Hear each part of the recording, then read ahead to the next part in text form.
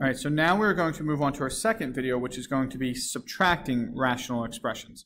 Now you'll see this is very similar to exact to what we just did in adding. There's just one more step that you need to add to it. All right, so here we have this problem.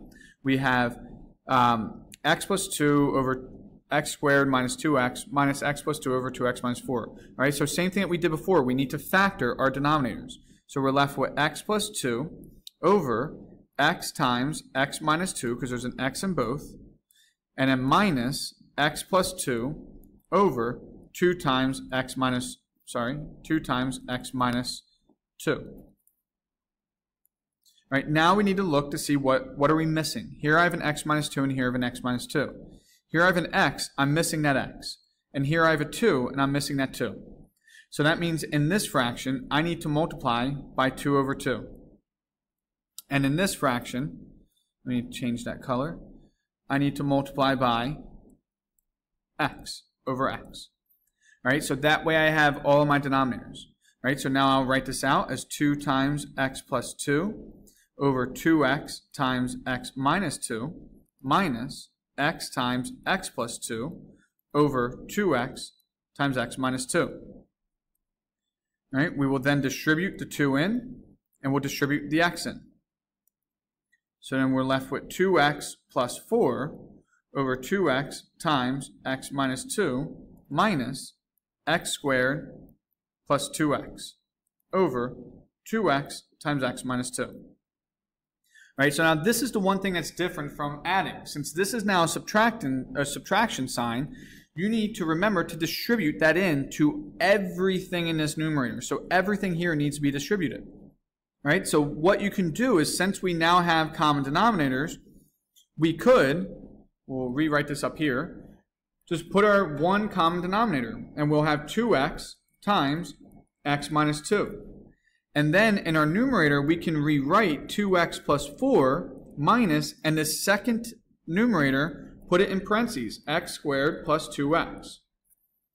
And this will help to remind yourself that you need to distribute that negative sign in. So it becomes 2x plus 4 minus x squared minus 2x, all over top of 2x times x minus 2.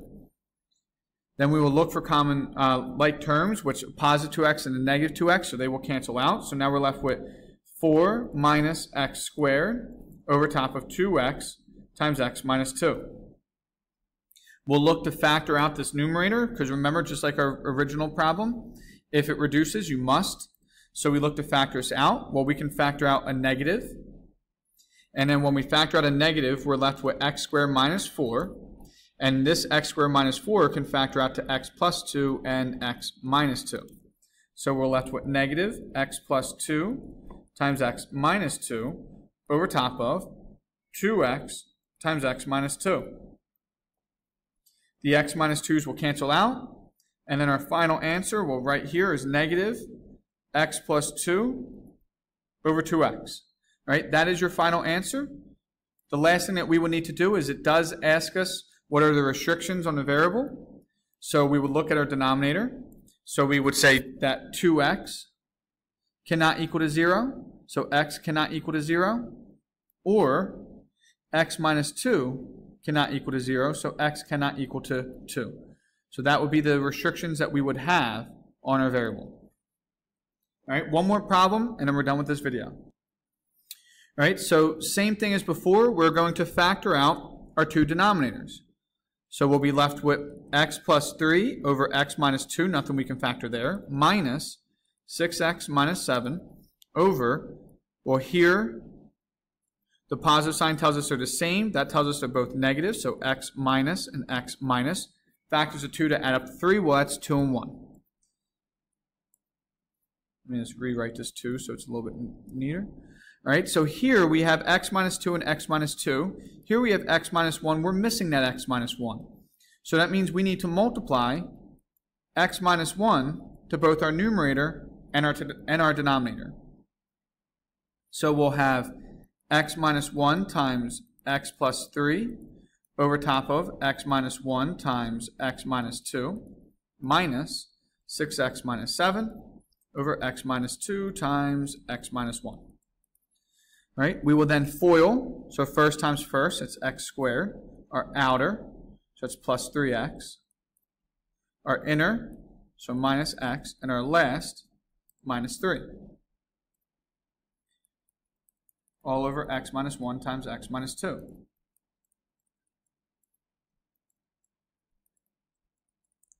right, now that we have common denominators, we can then rewrite these on one numerator, and we can combine 3x and negative x. All right, so remember, the way I would like to see you guys do this is rewrite it now as x squared plus 2x, because that's 3x minus x, minus 3, and a minus, and put in parentheses the other numerator, which is 6x minus 7. So minus 6x minus 7.